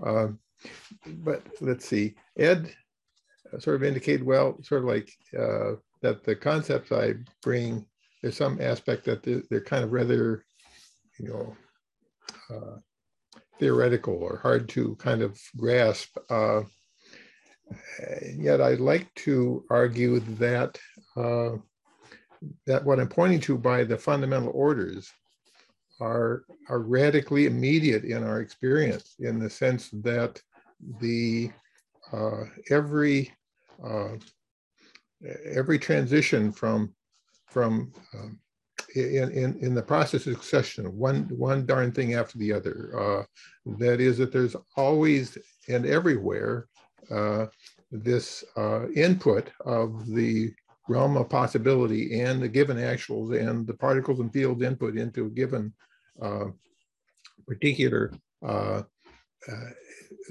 the input into what's making us at each stage uh, that this is happening again and again and again at uh, with exceeding high frequency uh, and and in, in each quantum process uh, there fundamentally is this bridging this integration of the possible and the actual.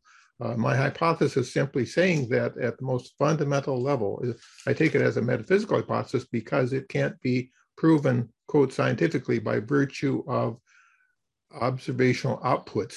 Uh, there is an inference about, you know, a, a, a, theoretical inference about what what what can account uh, what is so to speak presupposed in terms of explaining the basis for, say, the existence of quantum field theory, which I think is one way of uh, point, uh, a pointer to what corresponds to this fundamental succession. That that time time in terms of time space is not explicit, not so to speak foundational in quantum field theory, so to speak, arises out of quantum field theory. That is, that there's sort of like a succession of events, one after the other. Uh, and that time and space in our normal description uh, and an Einsteinian description is emergent from the fundamental process. It's not, so to speak, to be put into at the beginning. And this, and so when we think of terms of consciousness and uh, you know the, the con constant contrast of that which may be to the givens, uh, that interplay, that self-reflection on that which may to be to that which can maybe the possibilities to the givens, that interaction of that, uh, that, that interplay uh, it has counterparts in the interplay of fundamental uh, succession of the the inputs of particles and fields and and that is that input is uh, by by the hypothesis I put together in is include needs to include uh, when you put together the science and philosophy the reference to this to the the fundamental orders that that possibility is part of this and that Ruth Kastner's possibilism um, in in her work in co combining with Epperson is pointing to a scientific way of describing or understanding this possibilism as fundamentally ingredient in a way that's, I think, uh, that there's a, that the possible and the actual is joined at the hip in every event at multiple levels. Um, and, and, uh, and this, and, and to me, there's a convergence here, at least a possibility for a convergence of, say, the psychological ways of looking at things, the semiotic set of ways of describing things in terms of input, output, uh, context and the scientific and modeling descriptive kinds of ways that Robert Rosen describes. Uh, there's a, I think there's uh, a way of putting this together that then connects with our the immediacy of experience that in, can incorporate uh, these unusual, uh, exceptional experiences, including psi phenomena that are tapping in, or at least revealing uh, the the range of, uh, of, of the non-Boolean order uh, that, that by virtue of focusing on just correlations of outputs and space-time specifications of things as though we have a God's eye view of all that, then that scientific description um, can't directly get at this more fundamental connection. We have to hypothesize it. Uh, and I'm just suggesting that uh, by hypothesizing these two fundamental orders, it's a way to get at, and a fairly, I think, simple way to get at the fundamental connection that uh, and uh, so so what I put on the table with my Logoi framework is a starting point for a new way of approaching it, but that is highly compatible in various ways with uh, with with all the inspirations coming from the traditions of, the process traditions and semiotic traditions. Uh, so it's it's it's it, I'm I'm attempting to uh, to bring together uh, these uh, the, these these descriptions, the scientific and the humanistic, the the uh, the actual and the possible, uh, and, and, just pointing out that if you don't, if, if, if you just attend to one extreme, then you you you end up with these inadequate descriptions, such as uh, mechanism and physicalism, where we've been stuck for all too long. Uh, and we have to be evidence-based. Evidence, and one frame of the evidence is these spiritual experiences and these psi phenomena. That, that those are important pieces of evidence as to insights about what are the characteristics of the non-Boolean order uh, that are part of reality more inclusively understood. So I think we've just very barely begun to consider the implications of that evidence and, and to allow ourselves to be led where that evidence points to, uh, better uh, uh, inclusive um, understandings. And the understandings eventually are both scientific and philosophical. You just can't, adequate understanding of the systems inclusively involves both science and the humanities. Uh, uh, all of these disciplines. It, it can't be done by some truncated scientism. That's all. Thank you, Tim. So at this point, I think we should open it up uh, to dialogue with all of our participants. Uh, there are a couple of great questions in the chat. Um, I know, Anderson, you were first, but I'm, I'm going to ask Thomas to ask his question just because it seems more directly relevant uh, to what Tim was sharing, and then we'll go to Anderson next. Um, Thomas, do you want to unmute and? Hi, Tim. Uh, I'm my question is regarding your use of the term pre-space, um, and I'm wondering is that uh, in any way related to the way that uh, Reg Cahill in process physics uses the term pre-geometry or uh, perhaps uh, Penrose's use or Penrose's understanding of mathematical entities as uh, having an ontological reality that is outside of space time. Um, Yes, I, I, I, yes, I'm, I'm suggesting that the ontological reality uh, at this most fundamental level, so to speak, is pre-space. Uh, that is that, uh, it, like in Cahill's, uh, Cahill and Klinger's uh, theoretical effort, they have pointed to the possibility of an information theoretic approach that then from which they can eventually retrieve elements of quantum field theory and uh, aspects of, of uh, theory of gravity. Uh, and uh, and most interesting, uh, Klinger's work indicates how you can use an information theoretic approach to retrieve why it is that the fundamental, say, uh, dimension is limited to three dimensions in a way that I've very few other theoretical frameworks enable that to come out in a natural way. so there's, it's a notable promise to that kind of approach.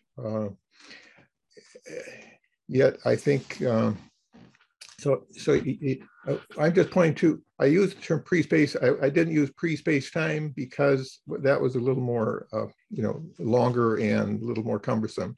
I just wanted to emphasize that I wanted to, as a pointer to the notion of actualized times, actualized time space intervals and metric is an output of the fundamental process.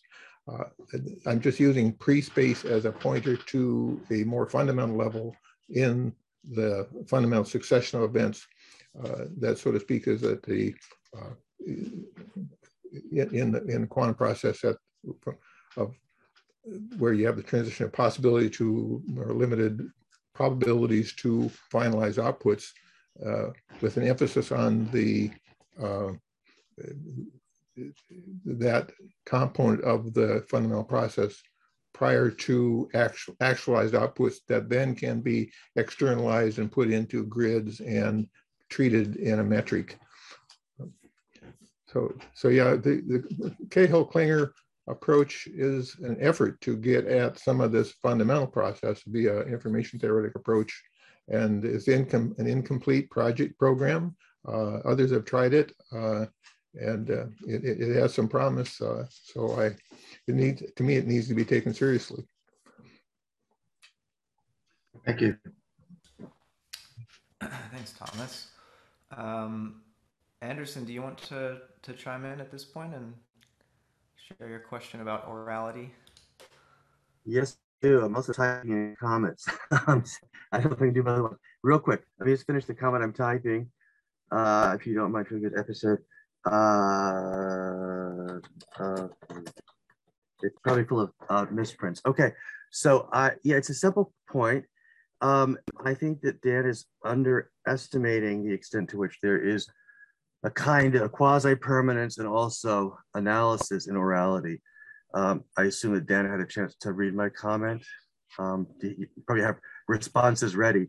So I just, you know, um, you know, early in the discovery of the formulaic nature of orality, there was this sort of silly interpretation that the, the repetition of formulas apparently meant that it was mechanical and arbitrary. The rhapsodes, you know, had trouble remembering, so they were just throwing stuff together. But if you look close, you see that's not what's going on at all. The repetition of exact formulas is very cleverly de deployed to create ironies and contrasts and suggest that things that otherwise seem different are in fact related. So there's a lot of analysis going on, um, even in the use of repetition. So the, the, the, the, the permanence is achieved through repetition and the analysis is achieved through uh, what, what, what to them would have been very obvious variations of the formulas like, whoa, oh, wait, and now you're, what, what, you, what, what usually applies to the gods is now being applied to the, the humans. What a surprise that must mean there's some kind of connection we have to think about there. So what do you say to that? That there, there is still some analysis and some permanence that prefigures a lot of the the possibilities of writing.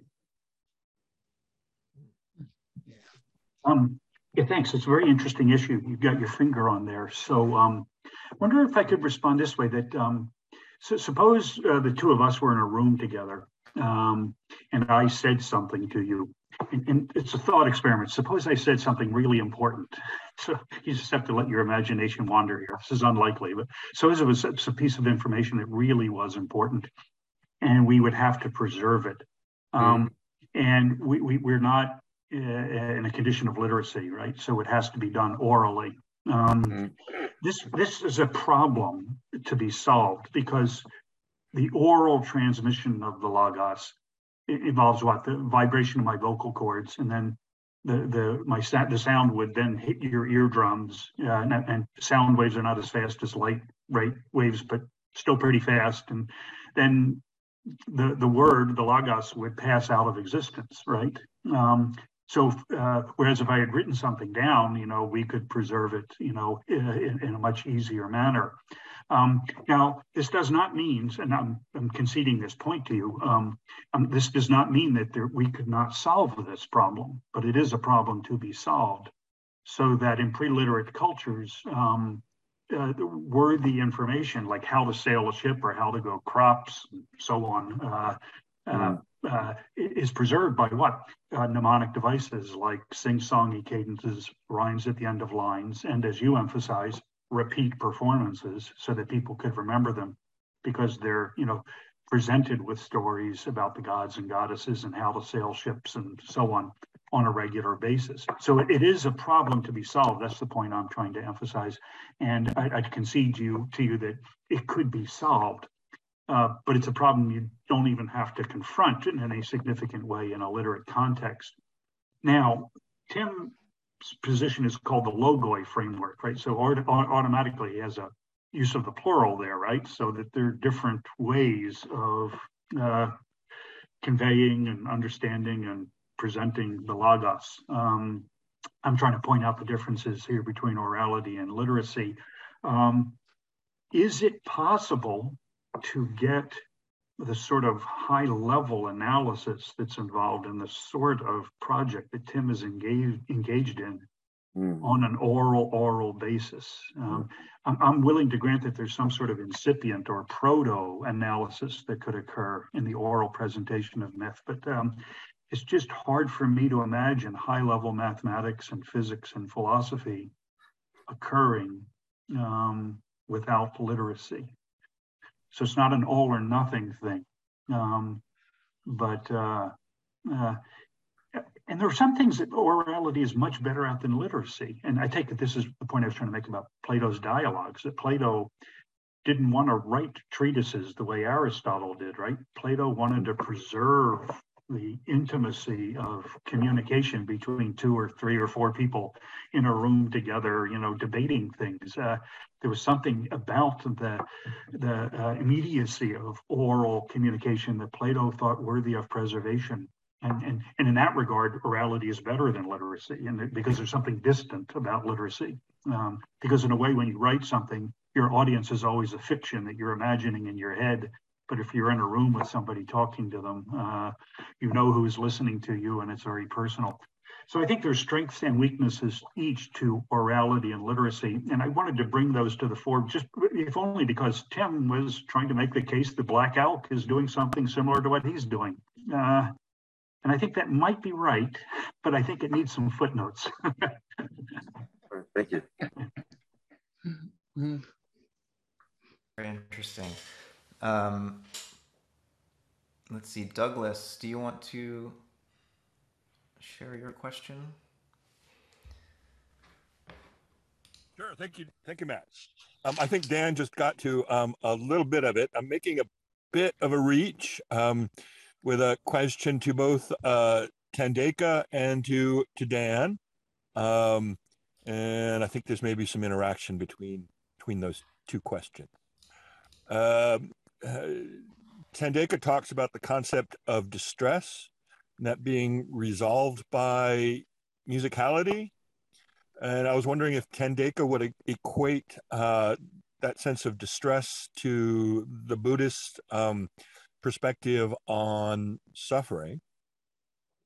And then, um, as Dan was just alluding to, you know, um, uh, you know, there is a distinctive difference between, um, uh, you know, the written and the oral and um, uh, Buddhist teaching also has a practice of uh, transmitting um, uh, traditions teachings, especially for one who wants to become qualified to pass on those teachings uh, via an oral or mechanism, not just reading it. I don't know if he could go any further on, on that subject, maybe in that concept of distress.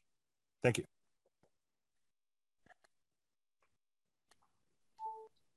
Shall I? Shall I respond?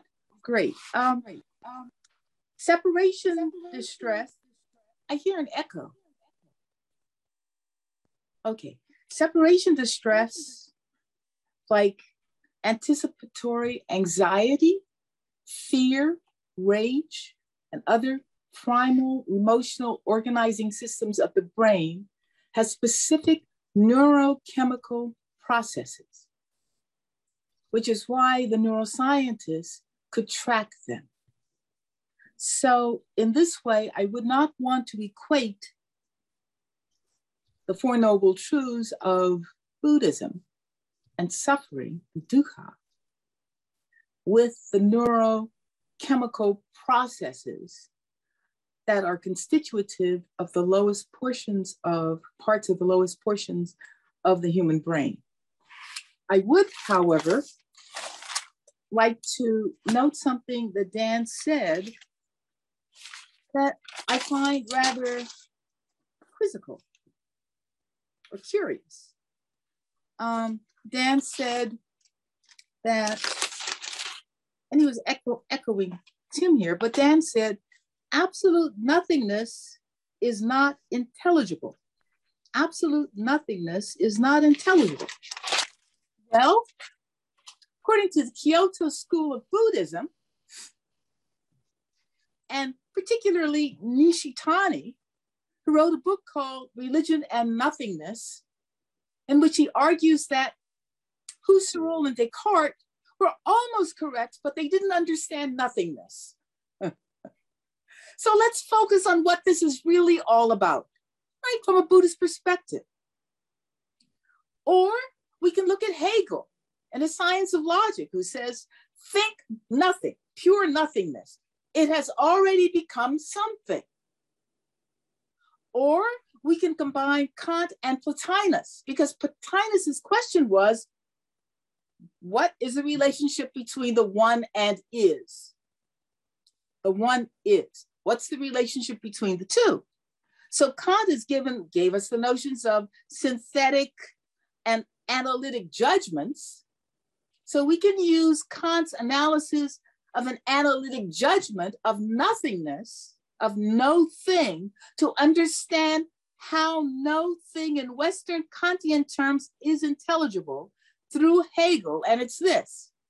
If you think of the propositional claim, nothing is, subject predicate, nothing is, the term nothing cancels is. It's a self canceling process. Nothing is, paradoxically meaning that something is and something is not at the same time as the mind tracks the way in which no thing, nothing cancels that which defines it, what moves is the mind itself, which is what the Buddhists try to get at through koans.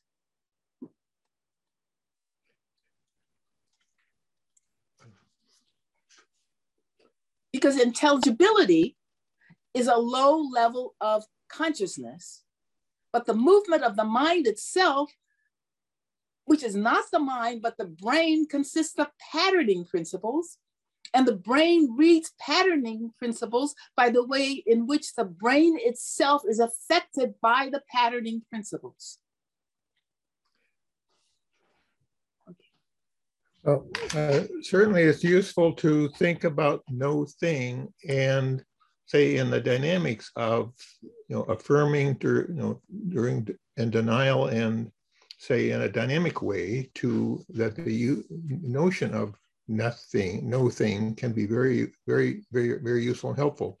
Uh, i think the point that i'm making and dan is re- re- reiterating is the notion of absolute nothingness uh, that the notion of absolute nothingness is very problematic and arguably without uh, coherence.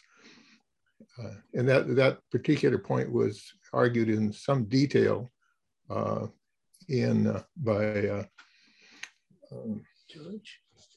Yeah, I, yeah. Right now, I'm having a senior moment. George Shields. George Shields. No, No. George. not, well, George Shields too, in terms of the fundamental, you know, the, the fundamental triadic of the uh, that that uh, in, in the very nature of things.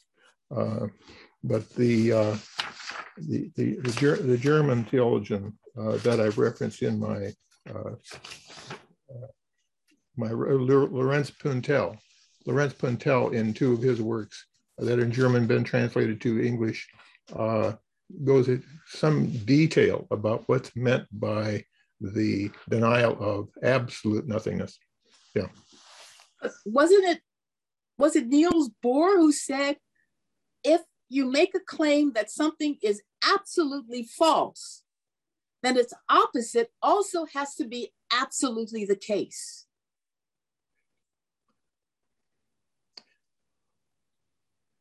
Well, uh, I think, uh, well, that's kind of an issue in logic, um, perhaps. But I, I'm just uh, say if you're go- the issue here is about the coherence of the notion of absolute nothingness, and you know the, the argument is that as a notion, as a concept, it's incoherent. Uh, that's so. So it is, isn't even subject to the notion, you know, this kind of dialectic of this or that. May I add one more note to this? When Thomas Merton moved into a certain state as a mystic, he wrote that he watched his ego disintegrate at the point of infinity. He then said that when I am in this state, I, as a Catholic monk, priest, whatever, cannot even say there is a God because no thing is present. To which the Dalai Lama reported, he's the only Christian I've met who actually understands mysticism. Yeah, I, I support that kind of you know that kind of language and description can make some sense. I, I what I'm saying doesn't contradict that. The denial of absolute nothingness in the sense I'm no, no if you have no, no basis for even reflection on it, there's no basis for even you know absolute nothingness denies radically everything. Uh, so how can that be coherent with? So so that but, but by virtue of even affirming the dialectic, you're affirming something that is against the notion of absolute nothingness. So I right.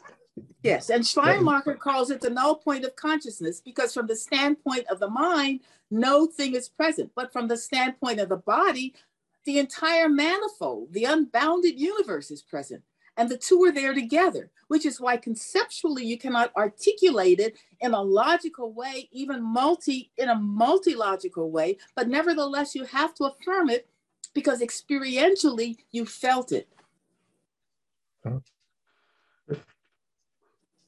Yeah, I think we're coming up here against the the the boundary between or the difference between logical thought and mystical feeling.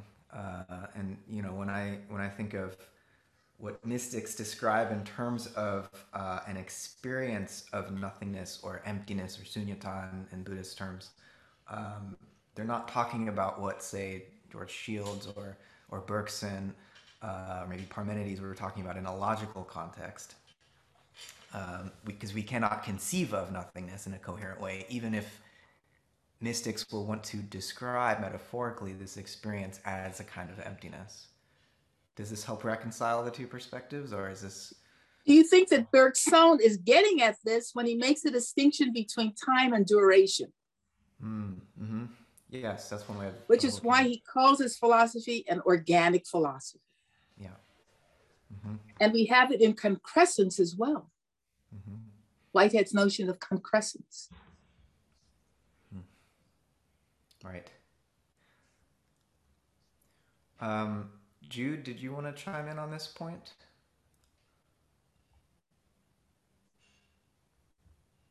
I saw your comment. No, I just, you know, I think what I was saying in the chat was akin to um, what how you put it in terms of of a sort of logical model of of intelligibility. I bristled a little. I'm wondering. I think it's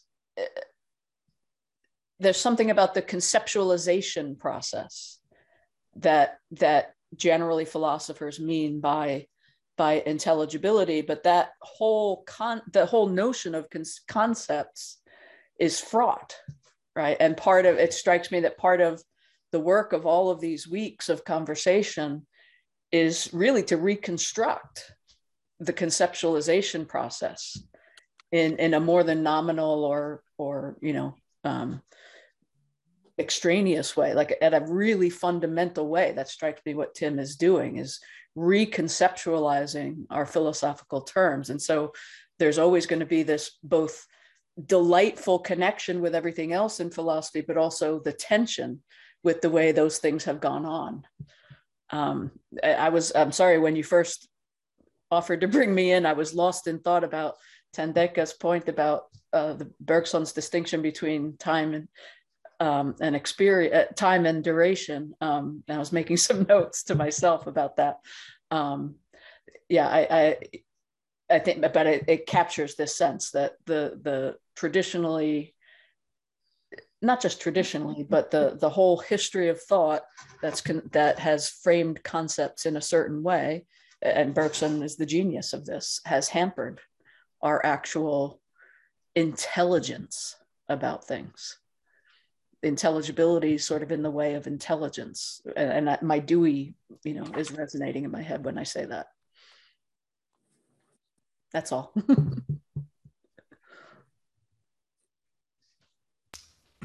Thanks, Jude. Uh, let's see. I think Kevin, Kevin Clark had a question.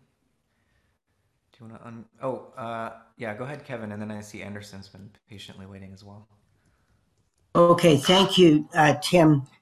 Um, I would like to um, ask this question, uh, and it's about the ground of potentia. So, starting on page 254, you move from an intimate universal uh, to talking about a ground of potentia. And um, and then are quite uh, develop uh, that notion about a ground of potentia in the next few pages. And I'm personally uncomfortable with the word ground as it has a sort of substantialist ring to me as a process person. And uh, you quote, uh, talking about ultimate grounds for meaning, you quote, quote Neville, where he talks about uh, ground or context. So, and then I, I, think someplace else later you use uh, the word context rather than ground, although you use the quest for the ground quite a bit. So I, I have, uh, I'm uncomfortable with the notion of a ground and much more comfortable in a process context, uh, process context of using the word context. And, um, and so I just kind of want to ask you if the word context uh, is a, it might be a better way of thinking about potentia. And then you know you you talk about that and and you go um, from uh, talking about a, a, context has to have I mean the um, potentia has to have some ground and where that is, and you suggest Whitehead's answer on page uh, 258, and then on 261, you kind of quote Whitehead regarding that issue, um, so that you know potentia can't be nowhere according to the ontological principle. It has to be housed in some actuality, some actual entity, and and you kind of get at that so that's the first kind of question I'd like for you to expand on. The second one is the whole notion of a dialectic. And you talk once again in this quote from Neville about the ontological ultimate is really the question of the one and the many, and then you call it a dialectic. I'd rather look at it from the a, a dipolar uh, rather than some kind of coincidence of opposites. It's a dipolar question of the the whole and the part as a as a sort of uh, way of framing it rather than some kind of di- dialectic that has some notion of the coincidence of opposites in it. And I think the the notion of a dipolar framing uh, is better for you because it, it's a once again the whole and the part kind of perspective. That's what I'm asking. It, it, it, would that be congenial with what you're doing and thinking and and could you explain and or expand upon these two notions of a grounded potentia and um, you know the dialectics of the one and the many. Thank you.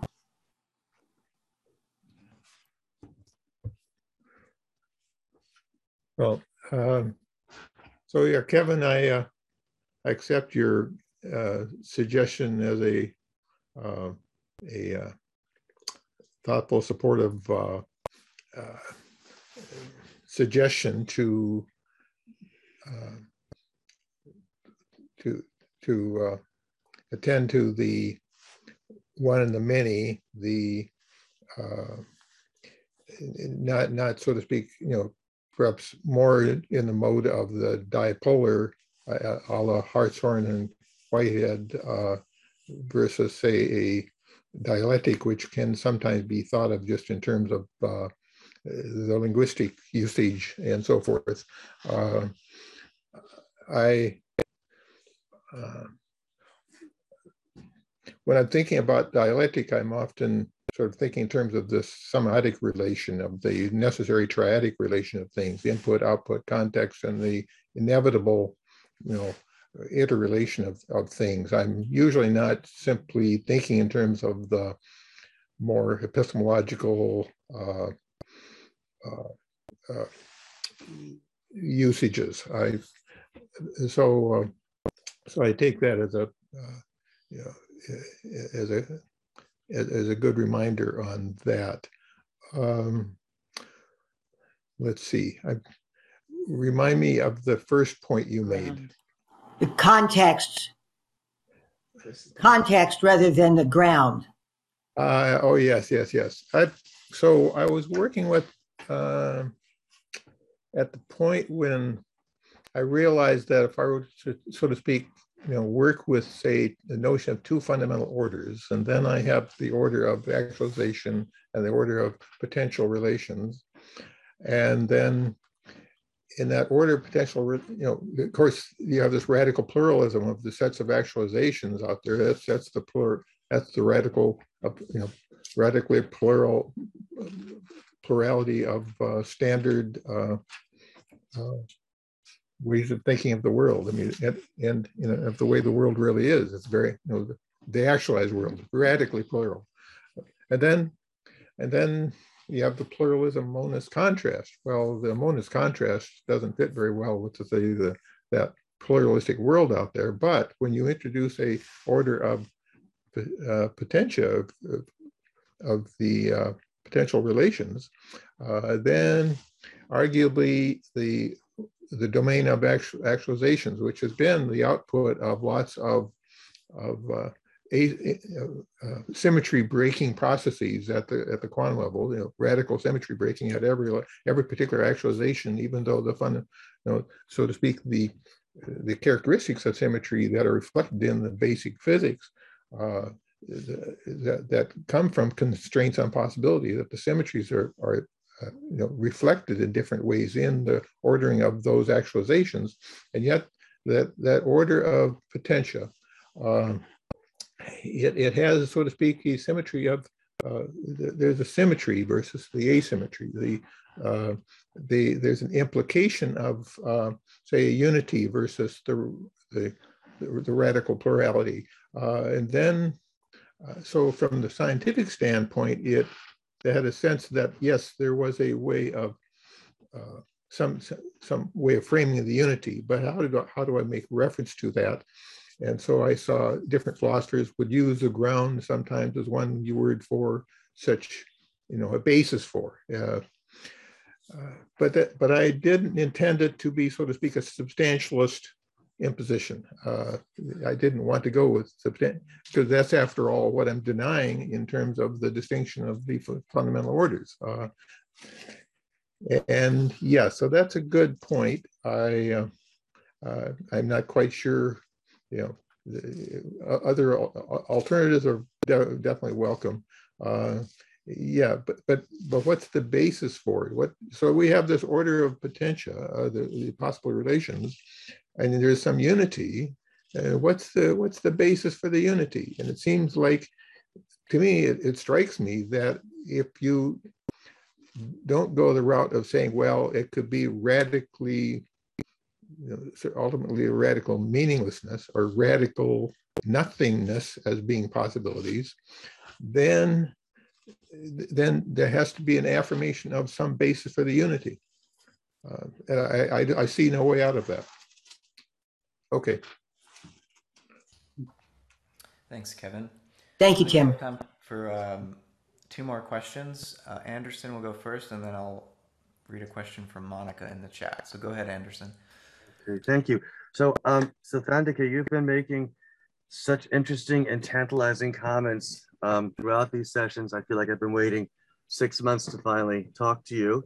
So I have some questions. Let's see how many we might be able to get through. The first is simply a plea that you make available to us the text that you read to us today. Would you be willing to do that? Yes, and also since I take it from my book, I Ah, plead I- for you to buy the Then, book. then- But I will then I'll send just you a copy. I will send you a copy of my comments, but all of it's in my book, I'll buy your book. It's my latest book. Thank you. Okay. Now, at one point, um, you uh, mentioned something that you've mentioned several times: the null point of consciousness, where there is a, a um, where where there's both an all and a nothing. Uh, the intellect is at a stage of nothing, but the organic is at a stage of everything. Is that right? Yes. Where is that passage, please? I cannot find it. Is it in? Is it in the dialectic of eighteen? Oh, Uh, oh yes, it's in the dialectic. 18, And my first, yes, my first book is on his dialectic. Okay. So And then I use affective neuroscience, and thus I was in conversation with Jaak for over a decade, the founder of affective neuroscience, because I wanted to translate Schleiermacher's insights into 21st century neuroscientific terms using the science of emotions. And Okay. thus, Jaak and I carried on a conversation for a decade in which he sometimes helped me. I would send him stuff that I'd written on Schleiermacher and say, here's how I've translated into your terms. And then Jaak would tweak it. And thus, in his last book, he said that my work allowed for non denominational foundation for religious experience, which is Schleiermacher, brought into the 21st century. excellent. Okay. So, Do just you- one other point here. Yes. It's the point that Kevin brought up and um, Tim commented upon about dipolarity and the coincidence of opposites. From the standpoint of reason, and this is Whitehead, this is Tim, this is Schleiermacher, you have to describe any human, ex- human experience from the standpoint of the organism and the reflections upon the organism by the brain, by a different part of the brain. So you have to, these are dipolar experiences. Tracked from the standpoint of human experience as a lived experience, which is what William James was trying to get at when he took the nitrous oxide. He saw, right, the opposites merge experientially, which you find descriptions of in spiritual experiences all over the world, which Schleiermacher identified as the place where one thought ends and the other thought begins. They never, there never is a coincidence of the two. They never meet. He called that space the in between place, and that's where he located the spiritual dimension of human experience. And any positive claim about it is a religious construction and therefore anthropomorphic. Is and that thus, the Buddhist understanding of shunyata, uh-huh. the closest I've seen to this delineation in Western um, classic philosophical reflections is Schleiermacher's explanation of the null point of consciousness, which is why he was so badly misunderstood. As you know, in his letters to Lücke, um, he said because he was criticized for being an atheist, a paganist, this, that, he said, I can't respond until they at least agree upon what I violated. And what he had violated was the foundation of Christian experience as the conscience, he set that aside. He said, no, it's affective. It's the coincidence in this way that we experientially have of the infinite universe in a finite moment of our own lives, which the Buddhists call codependent origination. Okay, so the the uh, the emptiness between thoughts. That's why you spoke about anshao occurring between thoughts. Is that the idea? That the connection? That's right. Which James to refers to as the perforated edges of consciousness. Okay, and uh, now you you at one point uh, deployed this as a deliberate critique and correction of Hegel. I'm wondering if you have time to repeat that for us now. Absolutely. Uh, in a slow, in a slow way. Okay, okay. Schleiermacher prevented Hegel from getting into the academic, you know, the academy, uh, because Hegel said that between, you know, the, the synthesis and the antithesis, excuse me, the, antith- the, the thesis and the antithesis, there's a synthesis, which Hegel counted as a third thing. The synthesis for Hegel was a third thing. Schleiermacher said, no, it's not a third thing. It's the middle way.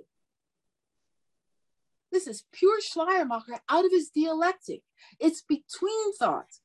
This part of Schleiermacher is not adequately understood because he made this the foundation for his invention of liberal theology, but he put this affective foundation in psychology and ethics and aesthetics, and thus stripped liberal religion of a doctrine of human nature. Mm-hmm. And thus, Schleiermacher's theology is read as if he's talking about conscience as foundational.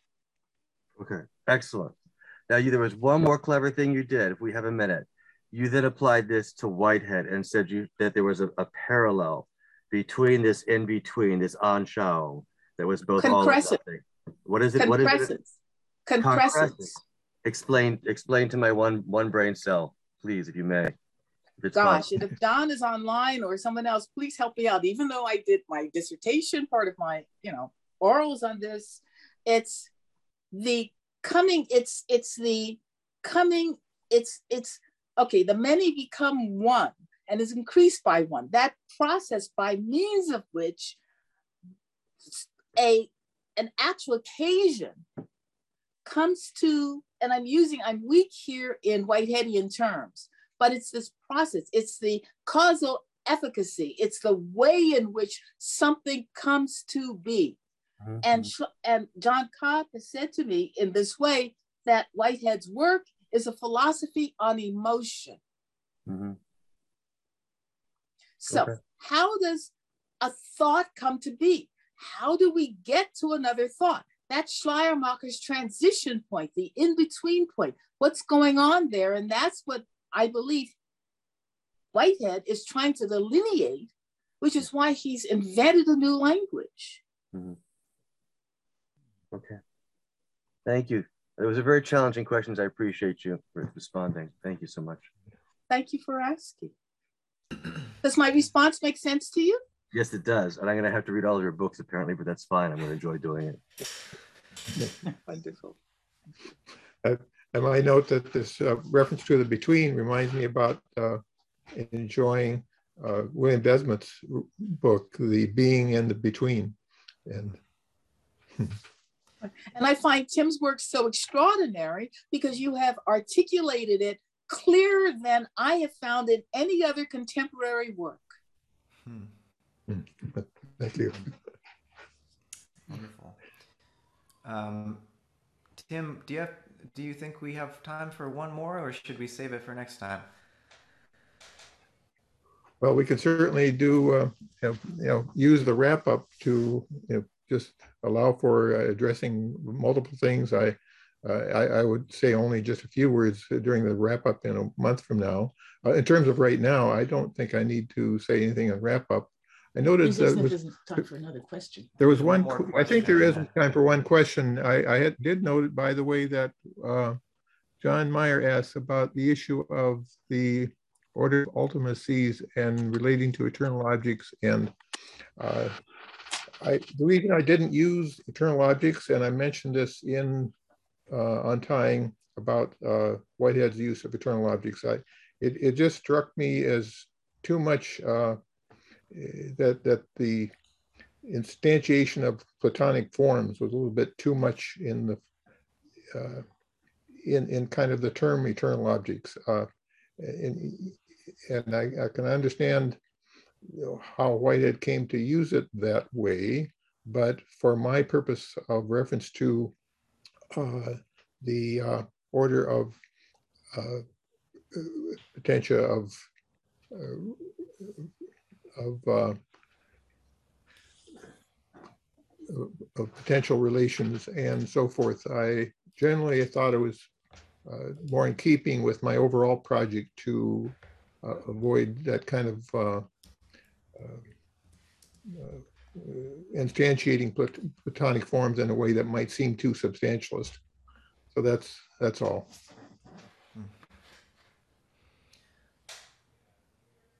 All right. Um, so Tim, there was one more question from uh, Monica, but it is it's I think rather involved, and um, maybe we can I can share that with you over email, uh, unless you want to take another few minutes. Oh yeah, uh, Monica, uh, yeah, the, the Raspe. Thank you. Yeah, and for and Prigogine and uh, so to speak, nested sequences, ultimately the universe. Yeah, I, by all means. Uh, in fact, I refer to this kind of a notion of multiple levels uh, a number of times in my book. Um, yes, I mean complex systems. Uh, there's complex systems at, at, at all levels, and so to speak, the emergence at multiple levels. Uh, but in combination with the the uh, this fundamental process I speak of, which is, uh, I, I would argue, embodied at multiple levels, and and and I th then use use as well this argument about uh, the, the, modeling process uh, for complex systems from Robert Rosen and related about the uh, uh, in, enfolding and unfolding in terms of the, the model of it, the two-way framing of things that then is happening at multiple levels. Uh, yeah, I think uh, that that's just part of a good basic description of of systems. The but then again, you see that doesn't do the job by itself. Uh, that in terms of getting at the fundamental um, philosophic and uh, the issue of meaning, you know, the, the issues of that I'm getting to in chapter eight, the about issues issues of ultimate meaning, the basis and the term meaning itself. Uh, that cannot be addressed simply by co some combination of propositions about the fact of the multiple levels. Great. Thank you, Tim. Well, as Jude said, these two hours are going way too fast, but luckily we do have one more session.